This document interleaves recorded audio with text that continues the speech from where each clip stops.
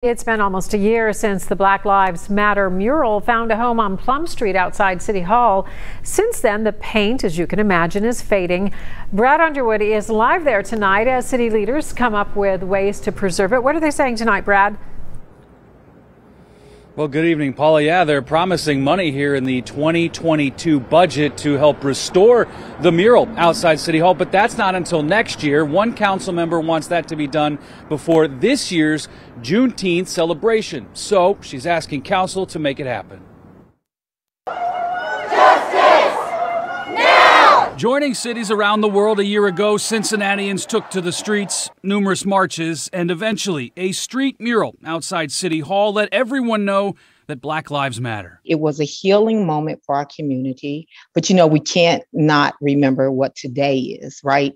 And kind of what stirred all of this in the first place. Alandis Powell helped bring the mural to life on Plum Street. Today, the paint is fading. Still shining bright, the message and the support. A lot of cars have rolled over, someone threw paint on it. I mean, there, have been some issues with it. It doesn't look bad, but it needs sprucing up.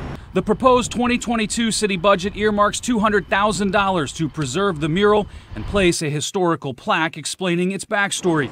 Cincinnati City Council member Jan Michelle Lemon Kearney is trying to fast track the cash to repaint it. We can't wait for the operating budget because we want it all done before Juneteenth. As you know, Juneteenth is June 19th, and our celebration here, the flag raising, is June 18th. In total, Lemon Kearney is asking for $125,000. Only $13,000 is needed for supplies. Over 70% go to the artist, and the rest go to other Black businesses like food and you know we're doing some programming this year et cetera so I, I, feel good about what we're asking for and what it'll help the money would come from the city's reserve fund it's wonderful to say that the Cincinnati um, comes together, and it's really about healing.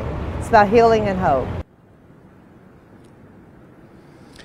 Now, Lemon Kearney does expect full council to vote on this tomorrow. Reporting live at City Hall, Brad Underwood, Local 12 News. Thank you, Brad. And once funding is secured, work could begin as early as next month.